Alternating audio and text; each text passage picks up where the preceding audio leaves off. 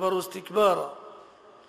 قال تعالى بل يريد كل امرئ منهم أن يؤتى صحفا منشرة.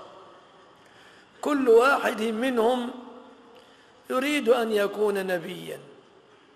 كل واحد منهم يقول في نفسي لماذا أنا لست بالنبي؟ فلتأتيني الصحف كما نزلت على محمد وكما نزلت على سائر الرسل.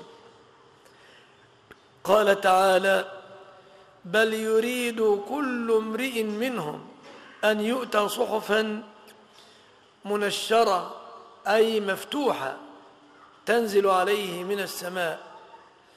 قال تعالى ولو نزلنا عليك كتابا في قرطاس فلمسوه بأيديهم لقال الذين كفروا منهم إن هذا إلا سحر مبين. قال تعالى بل يريد كل امرئ منهم أن يؤتى صحفا منشرة. أي إن سألت عن سبب كفرهم فلكفرهم أسباب.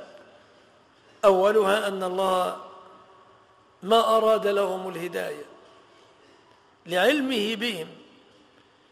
من ذلك أيضا أن كل واحد منهم حسد الرسول وأراد أن تنزل عليه هو بنفسه صحف مفتوحة تقرأ.